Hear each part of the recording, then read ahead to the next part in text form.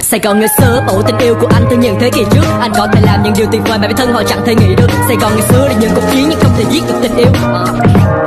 Còn nhiều điều mà mình thiếu. Sài Gòn ngày xưa thương xa cắt thư gia bóng bảy cùng cô bác Anh dắt em qua nhà khu thương mại sầm quốc tấp nập người cô gái. Sài Gòn ngày xưa trên đường phố những chiếc Vespa và sáu bảy. Nhưng vẫn còn đâu đó ở vùng ngoại ô, những chiếc xe tăng đẹp máu chảy